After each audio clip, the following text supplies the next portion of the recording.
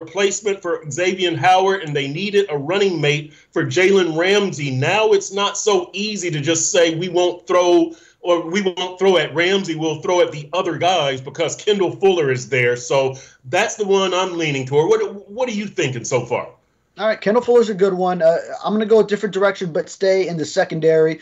I'm going to say Jordan Poyer because, yeah.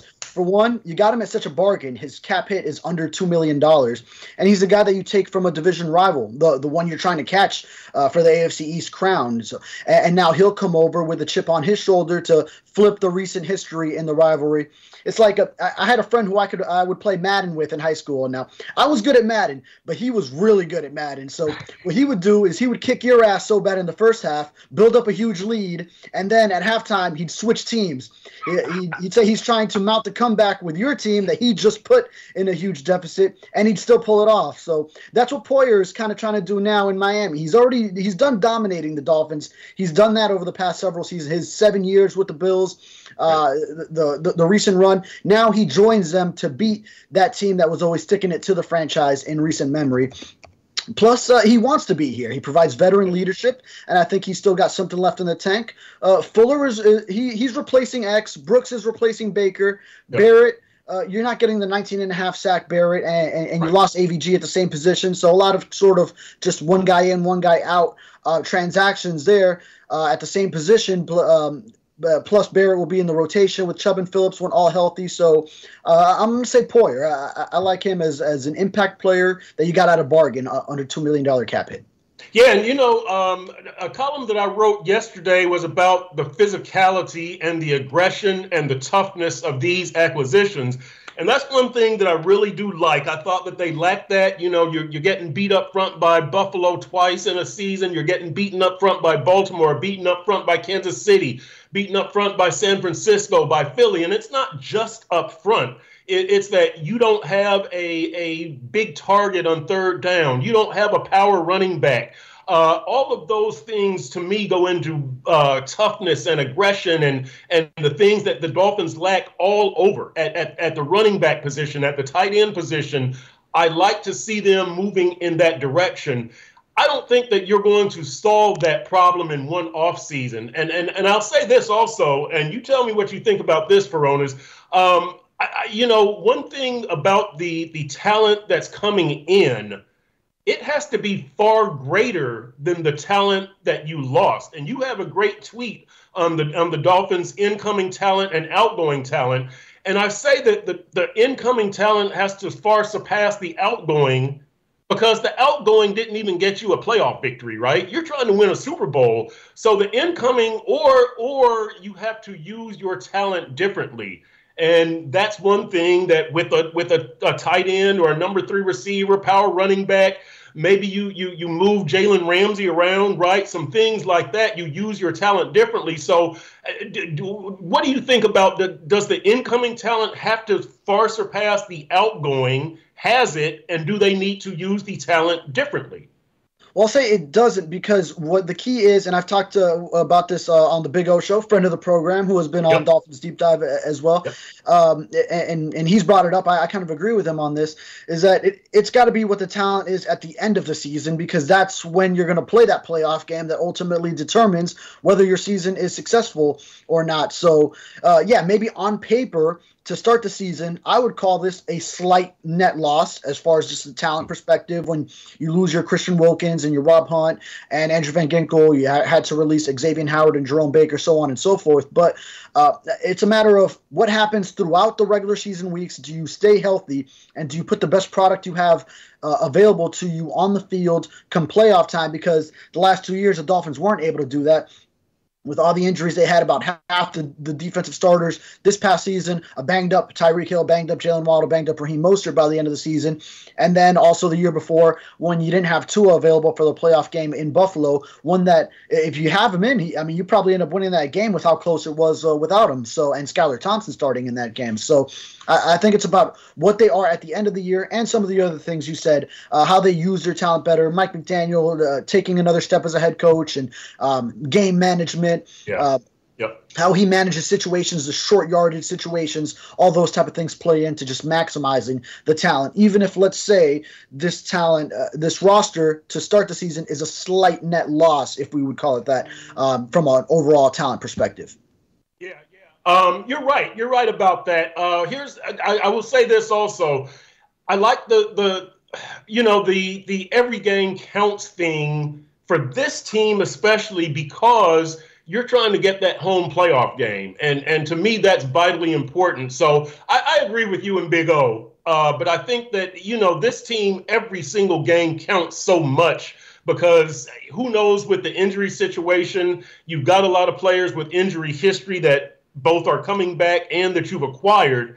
And so every game counts so much. But I, I, I see your point there. Um, Furones, the best move of the of the off season. And and the best move could be parting with Vic Fangio and bringing in Anthony Weaver, right? We're talking about how you're going to use Jalen Ramsey. The best move could be allowing Christian Wilkins go for that crazy amount of money, not paying Rob Hunt a crazy amount of money, not paying Xavier Howard a crazy amount of money. Could be restructuring these contracts. Uh, it could be bringing in Jordan Poyer. There's a lot of things that could be the best move. So we talked about the best free agent acquisition. The best move for me, I, I guess I'm going to have to say not paying Rob Hunt crazy money because you know my thing with guards. Um, if you listed the players 1 through 22 in order of importance, Left guard is 21, right guard is 22. So I, I, love Rob Hunt as, as a person and as a player. You can't pay him crazy money. And when I was saying it gets down to Connor Williams or Rob Hunt, I was saying I would pay Connor Williams because his position is more important. He might not be a better player, but his, his position is more important. So to me, the best move is uh, you you had it's tough, but you had to say goodbye to Rob Hunt. I can't pay a guard crazy money, especially with the other things that are coming down the pike for me. Wow, talking all brave now that Rob Hunt is gone. huh? you don't value him. Okay, I, I see you. no, uh, well, I, I, say Anthony Weaver coming in as defensive coordinator. I like that one because I think he will amplify your biggest move from last offseason, which was acquiring Jalen Ramsey. So I believe he'll maximize what the Dolphins have in one of the most elite cornerbacks in the game. And his quote in his introductory press conference was telling, an ultimate chess piece he views Ramsey as the queen on the chessboard. He's going to move him around, shadow an opponent's top receiver when the time is right, which is something Vic Fangio refused to do most times outside of that one Jets game against Garrett Wilson, which resulted in a shutout. So as far as X's money getting freed up, the, um, that that's one. Let's see what comes after June to determine if that one takes the cake. But uh, it was also smart not to pay Wilkins and Hunt in the grand scheme because when you look at what they got, um, you know, no franchise is going to be successful paying that much amount to one player uh, at their positions. Now, I mean, they're great players at their positions, but um, that that's like the Patriots went 20 years. Uh, they weren't overpaying guys uh, to keep that dynasty rolling all those years. They were always they always had guys that were leaving in free agency and then uh, rebuilt through the draft and coached up the next wave that was coming in. So although it really hurts to lose uh, guys like Wilkins and Hunt, then yeah, at the end of the day, uh, you, you, couldn't operate paying uh, those guys all that. Yeah. Um, welcome to uh, Cap for Life for uh, tuning in here. Welcome to Clark Hartman. Um, here's a question from Peter McDowell. Um, Furones, he, he or not a not a question, a statement. He says a lot of captains signed too on the defensive side of the ball. Great leadership. I think you had a tweet to that extent, didn't you? All the C's on the shirts does that make a difference? Because I remember a former Dolphins team, um, I, I want to say maybe in the 12 or 13 or 14 draft, and they got a lot of team captains, and they thought that was going to make a difference. Turned out it really didn't. I, I know where you're going with this, Peter. Furones, do you think that that's going to make a difference? When, uh, you know, the, the Dolphins have a low knucklehead factor, um, although Tyreek is trying to change that. Uh, so they, they've gotten good people does that make a difference? Does it make a difference when in style of play, blah blah blah? Does this does the C on the chest make a difference? Yeah, I think it does, and then uh, but also uh, everyone kind of needs to know their place when they're coming into a new team too. So it's not like you can just expect every uh, former captain at, at, at, on another team to then come in and, and expect to be that same guy. So as long as it's not like a clash of of all these different captains and and the way they lead, uh, and everyone sort of understands who the leaders are on this team who has already been here, and you you don't have the clashing of those voices, then uh, then it works. Yeah, yeah. Clark Hartman says he remembers that. Yeah, uh, I'd have to go back and see which draft that was. Uh, Cap for Life, uh, Furones, uh, sends us this. Uh, showing reflected on the books yet. So uh, when we're seeing the, uh, the, the sites that have all the salary cap numbers, uh, the over the cap, the uh, spot rack or Spotrac, uh, sites, and then they still haven't uh, inserted some of those free agents. So some of that money is going to go into that. Some of that, hey, if Odell Beckham walks out with a deal in place, agreeing the terms, and then that's going to go into that. Uh, so. Uh, maybe maybe that's as as big of a splash as you'll see. Uh, the Dolphins are definitely operating with a a prudent approach of uh, not spending too much, not overpaying for anyone, especially because they have so many cap commitments, and then you've got the dead cap coming in years to come. So uh, you need to pay Tua, uh, which is really going to come into play after uh, 2024. So uh, yeah, all these things need to be taken into consideration as far as uh, also the long term vision. Yeah, uh, cap for life. I'm going for it. I, I, am going for it. I'm telling you this that. this is to me, it's a, it's a year to year thing with this Dolphins team. I'm trying to win a Super Bowl, and I know that things are creeping up on me. Look, Chubb just had his second career ACL surgery. You don't know what Jaelan Phillips is going to look like and how he's going to be two or three years from now if you extend him. There, are, there are things down the line. You know, Tua and his salary. Is Tua even going to stay healthy this year? There are so many questions, so many factors that I, I to me, the, this team is in a place now where you've decided to go for it, and you you can't you can't pull back. And so I, I, know you have to be financially prudent, and, and a shout out to Brandon Shore. The, the the financial gymnastics that that man has done has, has been absolutely incredible. That's it. It's at Andy Elisburg level of the Miami Heat. Like the, the dude yes. is a baller. Brandon Shore is a baller. uh, but um, I'm going for it right now. That's that that's my deal. Um, I'm not I'm not waiting. I'm trying to win that Super Bowl right now. So that that's that's how I feel for it about it. Cat for life. Uh, Furones, let's move on to segment two. Which position has best upgraded and most significantly downgraded so far?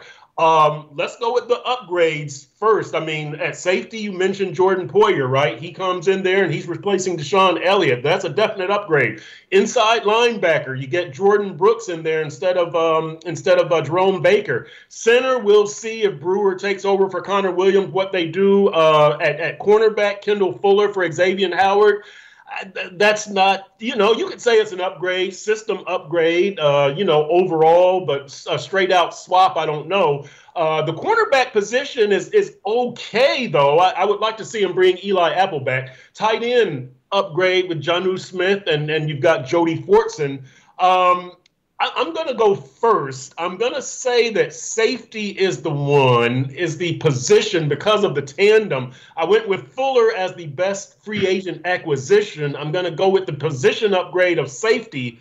That tandem of Jevon Holland and Jordan Poyer has a lot of potential right there. You can crack some skulls. You can do a lot of things with that position uh, now that you've got him back there. So I, I'm going to say safety, and we'll see what happens at center because you you've you've upgraded that position, haven't you? When you got Brewer, and if if uh, Connor Williams comes back, and you do still have Liam Eichenberg, so you would really be three deep at center.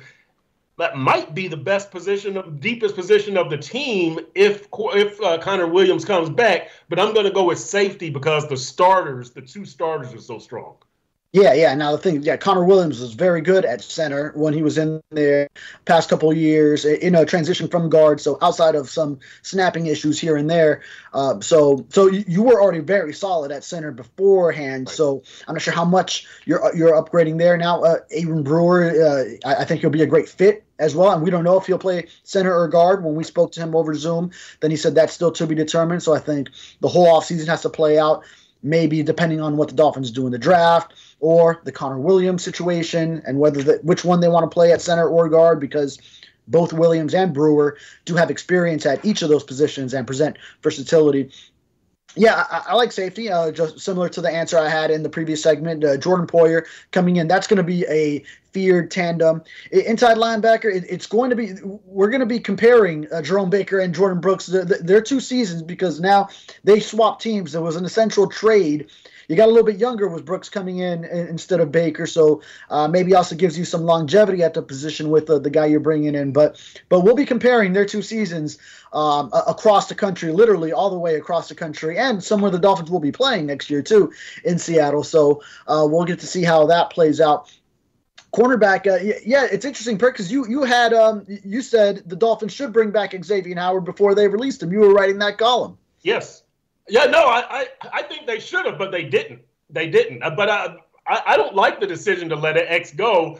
But you did get Kendall Fuller, um, and so the position has done pretty well. Matter of fact, I'm getting some pushback. You, you, you, you I'm getting some pushback on my Eli Apple comment. Uh, oh, I knew that would happen. That was the other yeah. thing I wanted to say. Grandizer 12 says, Did I hear that right? Eli Apple? Horse Apple? Nah, get a rookie there. Now be crazy. Bring Apple back. Are you crazy? Clark Hartman, he was kidding. Uh, I wasn't kidding. I wasn't kidding. I, look, Eli Apple was okay. He was okay. He was okay. What? Uh, go ahead, Furones, and rip the guy. Trash him. you really are a funny guy. That's a great joke. You're really, you're really committed to it and all, man. You're really sticking. To, no, no. All right. It, it's a big deal with fans. Now, Eli Apple. It is. It is. The, the stats, the metrics say he was not as bad as ever as all fans want to say he is. Right. But, but I know it's a huge deal amongst the fans that, that they are are really um, upset with uh, with any time Eli Apple was out there. I think in part because uh, Cam Smith wasn't playing, so Vic Fangio loved to put Eli Apple in every opportunity he had, and then and Cam Smith uh, wasn't getting those reps whenever um, uh, some cornerback opportunities arose. So I, I, think that was part of it. But really, I mean, Eli Apple was giving up a lot of underneath stuff maybe missing a tackle like you saw a couple times against DeVante Parker and the Patriots. So that's kind of where it all started, where the fans are were really on Eli Apple. And I think Apple has just been a target of a lot of uh, social media vitriol, yes. like going back some time to when he was with the Bengals and uh, and just previously in his career. So he's always been sort of like this target of of, of a lot of attacks.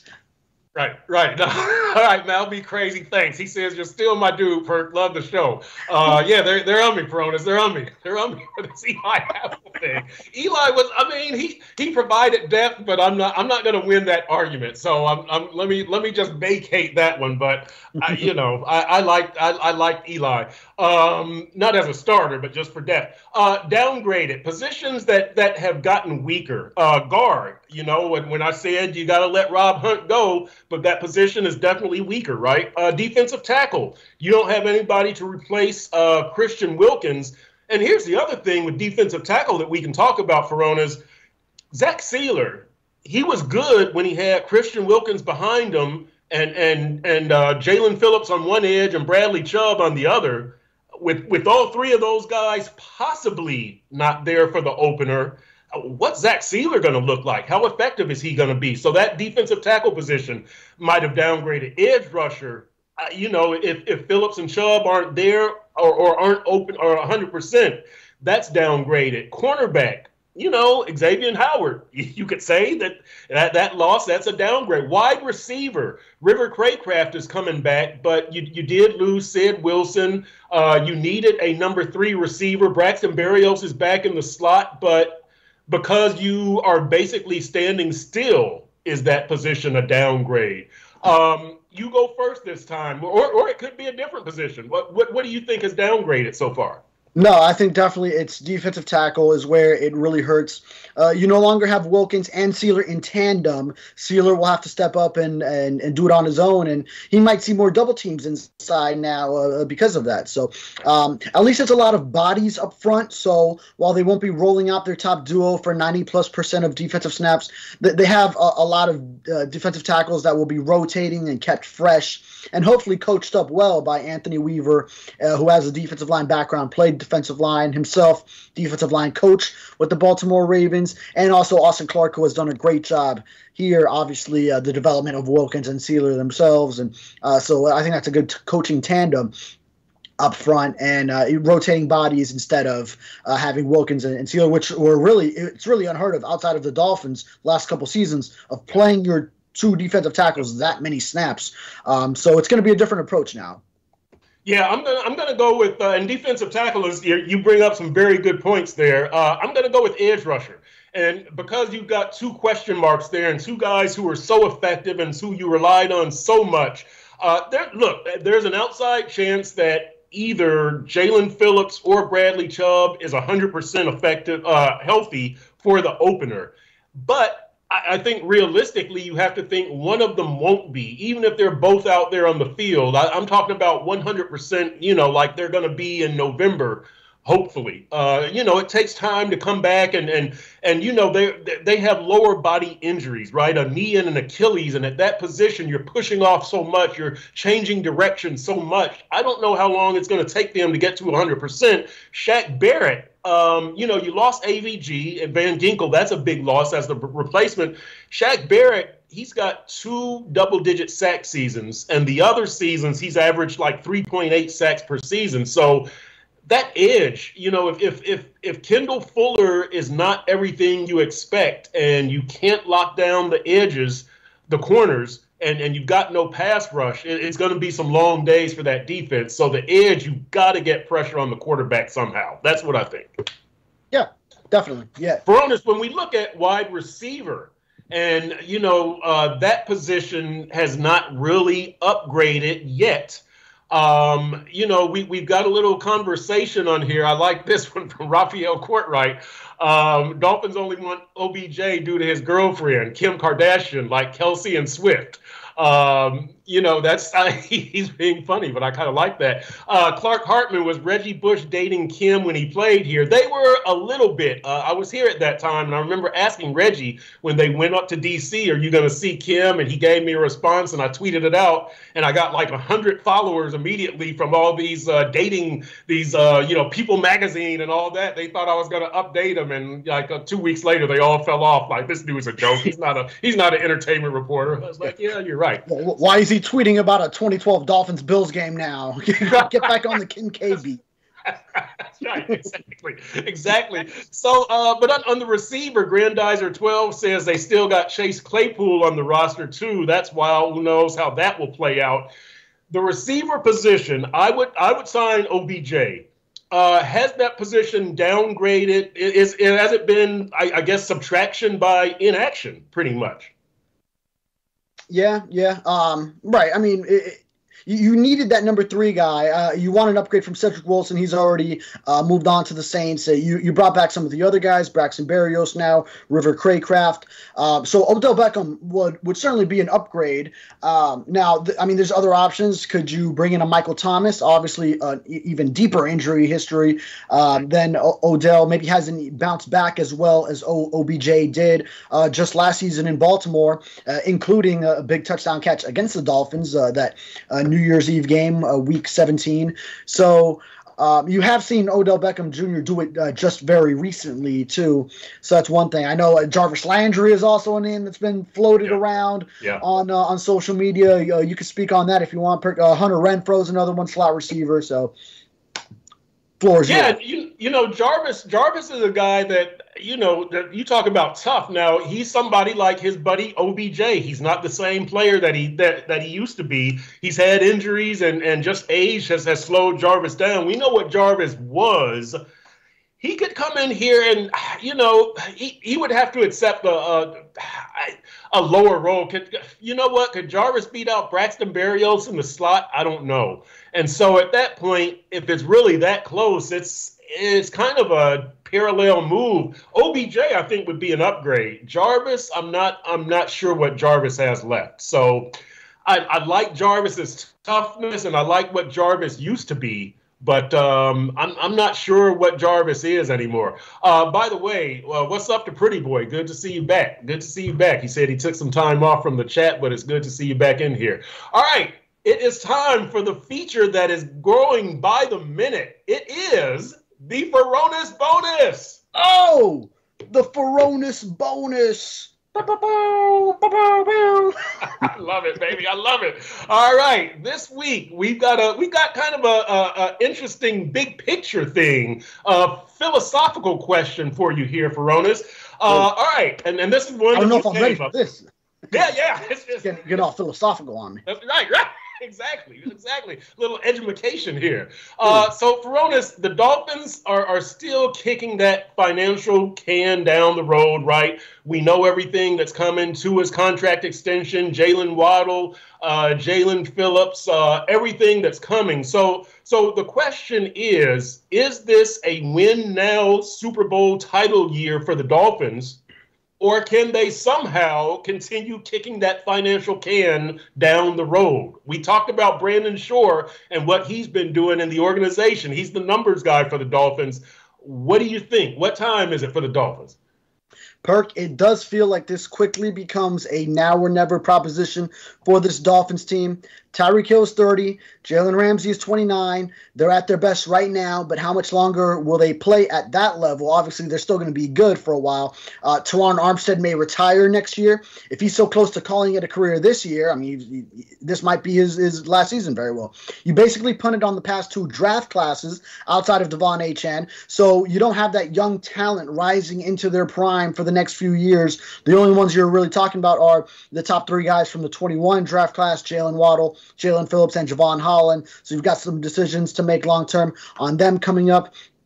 So you got to lock them up. The free agency class is filled with a lot of veterans that can help this year, but aren't necessarily going to be long term solutions. Uh, plus, it only gets tougher to maneuver financially in coming years as you pay Tua his big money. You already saw some of the cap ramifications of this offseason with all the guys the Dolphins lost in free agency. Many of them, their own successful draft picks that are, are now gone and moving on to other franchises a lot of these contracts they're on the hook for now have void years. So it's uh, down the road. So it may have to be a reset in earnest in coming years while this is sort of like a soft reset while still pushing all in in a way. Uh, so you just wonder if they won't be quite good enough now and maybe won't be able to build such a talented roster in the future. Then 2023 was a bit now or never and now 2024 really feels that way yeah, and, you know what? Uh, I, I, agree with you, Furones, that again, everything with me is going to be do it now, win now, get these guys in house and and and make that all out push because you don't know what the future holds with this team. Now, look, I do think that you can kick the can down the road financially and keep doing it, but as you say, there, there's so many tough decisions. There's so many injuries. There's so many unknowns that it, it's tough to, to me, it's tough to keep a plan together for longer than three years. Like you, you go in as a GM or as a coach or or whatever. This is our three-year plan, and if it doesn't work after three years, you kind of have to start over because of injuries, because of age, because of free agency, because of the salary cap. We're at year three in, in, in the in the Mike McDaniel era, right? And and so I'm not saying it wouldn't work in year four, that it wouldn't work in year five. You're set up for this thing to have worked last year or this year. And so I do think that this is a win now situation for this Dolphins team. Now, uh, I, will say this also that um, you you can pivot. And, you know, if it doesn't work this year, you can decide, well, we're going to do X, Y, and Z but you can't do X, Y, and Z by 2025. Now you're looking right at 2026, 2027. You're on a different three year plan to me. So, uh, yeah, I, I, say you do it now. Whatever money you have, you've got to be prudent and, and smart, but really, whatever you have, I'm, I'm pushing it to the center of the table. We're betting on the Dolphins this year.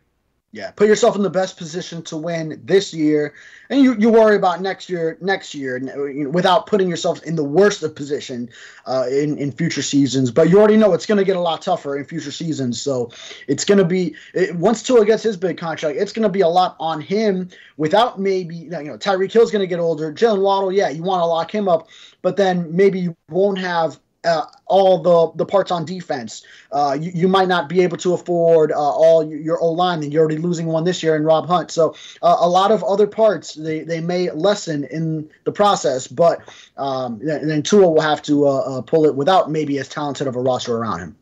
Uh, welcome to uh, Michael Crosby, who says, uh, What's going on with Odell Beckham? That's all I want to know. He's in for a visit today. Kardashian's boyfriend is in for a visit today. We'll see what happens. Uh, you, you log on late. That's what you missed. That's what we started the show with. You, you, that's it. That's it. Time? That's it, man. Well, well, he can catch the podcast and get caught yeah, up. Yeah, yeah, yeah, yeah. Download the podcast. Uh, Evan Langley says we're on the 33 year plan. But that's he's he's yeah, that's a joke. But how long has it been since they won a playoff game? Oh yeah, gee, that I mean that, that's, my age. It's been, been my whole life they've been on this planet. yeah, he's close to right. He or she, I guess. I guess it's a he with with a name like Evan. Hey, um, let's do a Furones bonus bonus here. Oh, oh, yes, Furones bonus. I'm, I'm, not doing the whole thing again, but all right. all right. So here's the Furones bonus bonus. Uh, we're both going to be at owners meetings in Orlando uh, early next week. Um, we're gonna get to talk to Chris to uh, to to Matt, Mike McDaniel. Let me get that straight. Mike McDaniel probably, hopefully, get to talk to Chris Grier. But when you talk to Mike McDaniel, Furones, we can ask we, we can ask him about a lot of things. Uh, we can ask him about getting a number three receiver. We can ask him about Tyreek Hill and his off-field stuff, right? We can ask him about, um, you know, extending Tua. What what do you want to ask him about most? And and I'll go first here.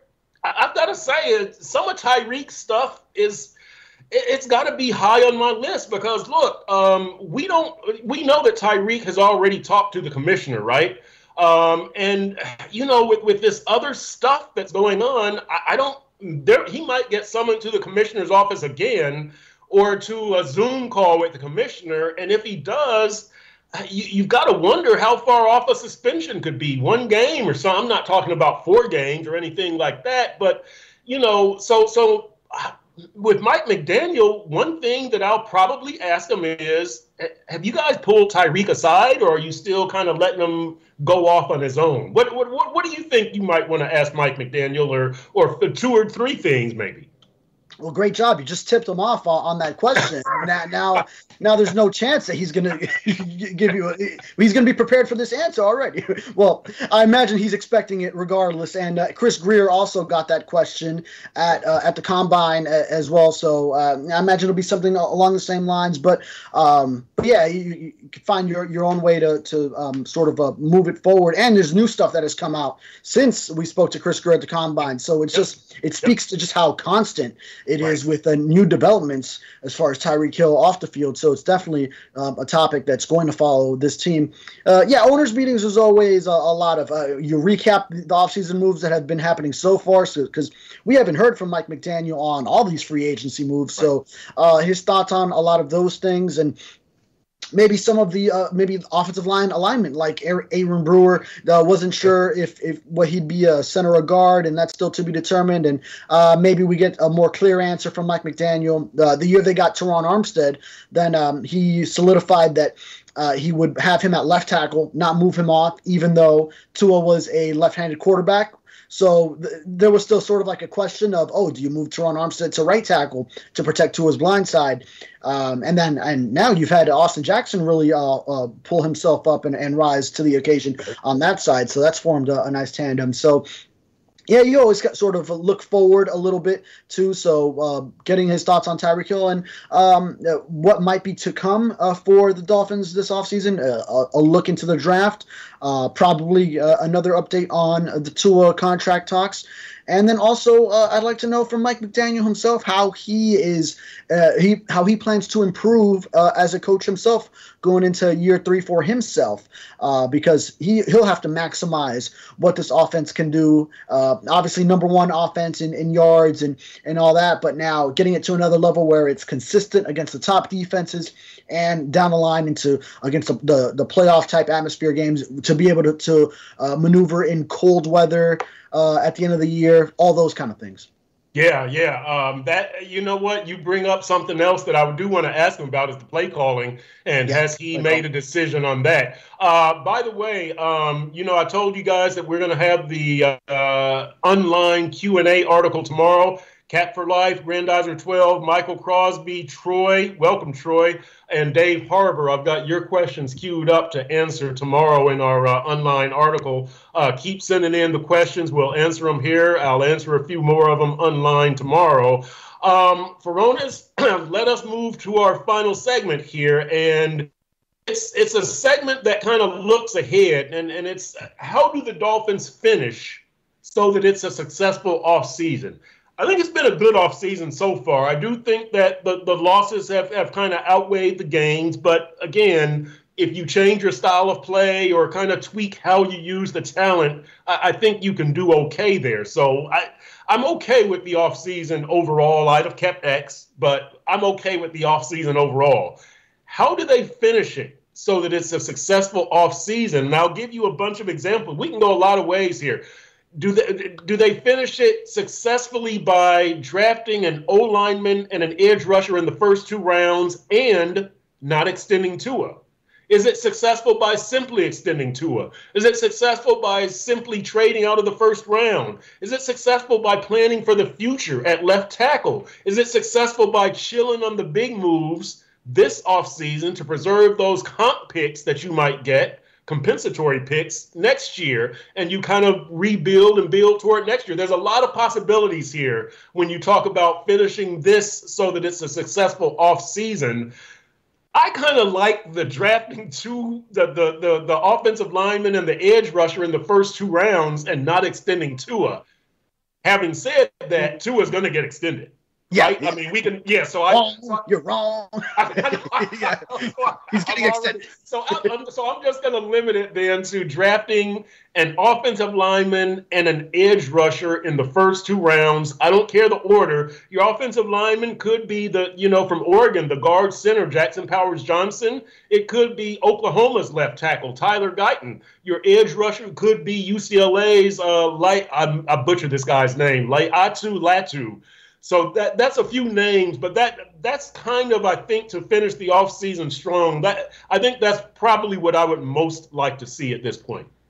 Yeah, I put out a tweet uh, not long ago where uh, I set a uh, a weight um, minimum a weight uh, quota. No, not quota. Quota's a max. Uh, just a minimum that I want to see from the Dolphins' first two picks. So uh, to get to acquire 550 pounds in the the first two rounds of the draft, or if you end up trading down, at, you can go for 750 in right. three rounds, meaning you could also get a wide receiver uh, that that's not as heavy uh, if, if you're also trading down, and then you, you end up with an extra pick in the first three rounds. So uh, 550 can get you a 300 pound offensive lineman or defensive lineman that's over 300, and maybe a, a, an edge rusher.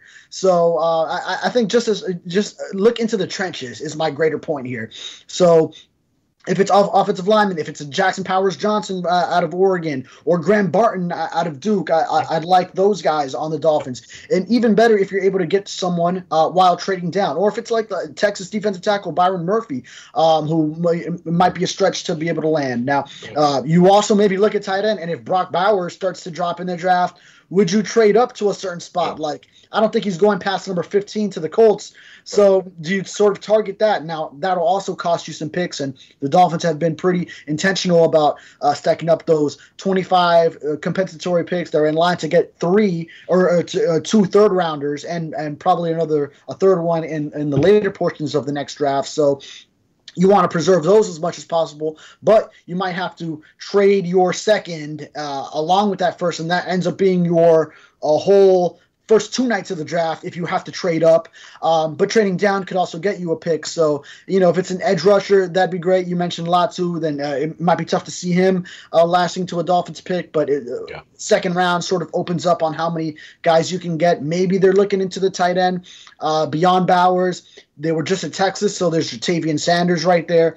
Texas has a couple of uh, receivers and Xavier Worthy and Adonai Mitchell. Yeah. So, um, I mean, the Dolphins were in there in full force at at Austin at their pro day just uh, yesterday. So, obviously, there is a lot of interest and and there's just so many guys too in the middle rounds of the draft right. that I'd like to see the Dolphins uh, pick up. But it's just you know know it's not really realistic if they don't have a third rounder or a fourth rounder, which right. sort of tells me, boy, it'd be nice if you trade down, you still get like a Graham Barton out of Duke or JPJ from Oregon, but then you also are able to like add left tackle like a Patrick Paul out of Houston. Right. So you know somewhere in that range, so you have maybe he can learn behind Terron Armstead, and then also he's your guy down the road, assuming he's he's developing right. So or and can also fill in if Armstead is missing games. So um, I know a, a lot of. Uh, uh, different ways, different routes that, that this could go, um, and and we'll have a lot more clarity once you see what they do in that first round that Thursday night. But um, just it'll be really interesting to to see what develops. It is. It is because yeah, they could go a bunch of different ways. And speaking of that, Carl Wimmer asked, "Help me out." Why edge rusher and not a big, mean, ugly nose tackle or interior guy? Yeah, T'Vondre Sweat from uh, from Texas. Yes. Also. Oh, that look, that dude is a he's a grown man. I saw him at the Senior Bowl. He is a grown man. But I say edge rusher because of influence on the game. Because the edge rusher is such a important position. You guys know it's a it's a passing league. Get pressure on that quarterback and and make the Ramsey Fuller combo back in the back even more effective. You put pressure on them from the front with that pass rush and in the back with that lockdown defense, and, and then you're really onto something. So that's why I say edge rusher and not the nose tackle or interior guy. Speaking of that, uh, Tim Trini says, "What about Calais Campbell?" Which I think is very intriguing because you, are not looking for you know uh, 40 snaps a game from this guy. He could be a Raekwon Davis type uh, type situation. So uh, that could be something. Billy Batson says, "Trade 21 back, please." So what what would you think about Calais Campbell or or trading back? Yeah, trading back. Yeah, yeah. As I said, uh, that'd be nice, especially if one of your targets, uh, so, and, even if it's just trading down within the first round, you could pick up a third, let's say. Um, then then that'd be good. Maybe you even get some 2024 or uh, 25 extra capital right. out of that. Calais Campbell. Hey, uh, I'm a Miami Hurricane myself, so I'd love to see him. Uh, maybe whether it's finish out his career or I mean. Um, whatever the case may be, uh, down here in Miami, hey, hey, beef up that defensive line. That'd be awesome. I know Calais Campbell still has something left uh, to provide. Yeah, yeah, and and again, you know, it's it, it's not like you're looking for starters uh, reps from him. He would be a kind of a, a plug-in guy, a, a, veteran who's who's uh, who's going to be in there uh, getting some snaps for you. Uh, by the way, uh, Zinman uh, one 1001 uh, welcome and i've got you as a uh, as a question that i'll answer tomorrow. And uh, let's see did i say peter mcdowell? Peter i've got one of your questions on here that uh, that i will answer on the online article tomorrow. Um, Furones wrapping up here as as we talk again about um, what how did the dolphins finish so that it's a successful off season? Um, what are you what are you thinking as far as planning for the future? We talked we we mentioned we touched on Terron Armstead. Are, are you planning for the future at edge rusher because of because of uh, Jaelan Phillips? Are you planning for the future at safety? Jordan Poyer's a one year deal, right? And then Jevon Holland has to be re-signed. This offseason, are you looking ahead very much. You know me, I'm all in for this year. But when you've got that situation, especially at safety with Poyer and Holland, you, you kind of, you know, Elijah Campbell is back, but don't you kind of have to look ahead? So are you are you doing that as part of a successful 2024 offseason? Yeah, I mean, well, you're always looking to add yeah. young talent. Now, the Dolphins uh, did not, in large part, the past two drafts outside of Achane, and you know, hopefully Cam Smith uh, can can develop yes. now yes. in a new system. So that would be huge. But uh, but yeah, I mean, it, it's an all-in right now approach. Everything is about 2024 right now because you have a max opportunity to win. But yeah, you're always looking to the future as well. So uh, that's why they're stacking 25 compensatory picks and and whatnot. So uh, th- yeah, there's definitely an eye on the future as, as well as there always has to be. Yeah, uh, Polly King 305, as we uh, get out of here, says, What do y'all think of a cheaper option off the edge with a Tyus Bowser or Randy Gregory as rotation pieces? Um, I'll, I'll, go first if, if you even want to touch this, Furones. I think Shaq Barrett is already part of your cheaper option off the edge because he's an older guy. You're going to count on some some fairly significant uh, snaps from from Shaq Barrett. So to me, you've already taken that route. Uh, you need to go higher now if, if you if, if you're gonna you know do something off the edge. That's why I would say a first or second round pick. Yeah, yeah. I mean, I, I think the the roster will add another edge rusher. uh, just especially after you just saw that you lost your two starters, and then even Andrew Van Ginkel to, to right, injury. Right, right. Uh, even then Cameron Goode on top of that, yep. you, you lost yep. by the yep. end of the season, where you had to piece it together with um, all these quality names for their careers. But it, it would have been great if you had them all together in 2015 or something, uh, as opposed to uh, 2023. Uh, everyone who was playing by in that playoff game against the Chiefs. So uh, I think definitely after seeing what happened last year, sort of similar to cornerback the year before, and how they made sure they, they brought in Ramsey. They still drafted highly in Cam Smith. Yeah. They brought in Eli Apple once Ramsey got hurt, and they were adding other names to compete in training camp. Uh, I think similar to that, and they'll treat edge rusher that way. Like you just can't have enough bodies at that position. Yeah, yeah. Okay, real quick. I said we were getting out of here. Um, Tim Trini is. I, I, got the, the NCAA tournament to watch. oh, I know. Michigan I know. State, Mississippi State. You're, right. We are. We, you're exactly. I know. I'm going into tournaments. I, I got North Carolina winning. By the way, I got Texas A&M in my Final Four. I, you know, I feel okay, that. I, I, think I picked Purdue. So sometimes like that team that gets knocked out early one year, like Virginia did, and then then they go on and win the, the title the next year. So I'm just picking Purdue. All right, all right, Zach Edey, baby, I like it. I yeah. like it. All right, all right. Tim Trini, uh, is the roster today tougher than last year's roster? We need to be tougher. It's getting there. It's moving in that direction. You have any thoughts on that? Yeah, yeah, and you wrote about it uh, for sure. A lot of these guys take that mindset. Uh, Jordyn Brooks is tough. Uh, yes, uh, yes. You, know, you know, Aaron Brewer might be more known for his agility at center, but uh, yeah, I mean him too uh, as a lineman. So Anthony Walker, we just talked to him. I, I like his mindset coming in. He, he, had a nice quote that I highlighted in the the article tweet. So yeah, I mean. I'll, a lot of these guys definitely uh, that's that's part of the mindset. Anthony Weaver, I think, will instill that in this defense. Yep. Um, okay. Finally, Billy Batson, we have to participate in an AFC conference game before going into win now mode. I'll say this about that. I generally think you're right that you climb the stairs but we saw what Tampa did. We saw what St. Louis did, right? Um, recently, or, or, or, St. Louis, the Rams adding Matt Stafford, Los Angeles, St. Louis. I'm living in the past. Sorry, uh, but, but you can, you know, Cincinnati pretty much did that with Joe Burrow, didn't they? You, you, there are teams you don't have to climb the ladder like Buffalo is is, is doing. You can go from zero to sixty that's what the Dolphins are trying to do. I, I, hear you, but they don't have time to climb the stairs. That was that was two years ago and last year. Now you just have to jump up through the top step. Yeah, that's Billy Bats. What was his name? What? Billy Batson. Oh, Batson. Okay, because Billy Bats, I thought he got whacked in, in Goodfellas. he, he, he was in the trunk of the cars. Well, what's he doing on, on our chat? Frank Vincent's character. very nice, very nice recall there. I, I, thought about that too. All right, man, that's it. Um, thanks for everybody for, for tuning in today on a, on a Thursday. Uh, go watch some NCAA basketball. Good luck on your brackets. Me and Furones will be back in probably about three weeks with a lot of pre-draft information for you. Thanks for tuning in. Dolphins Deep Dive with Perk, SunSentinel.com.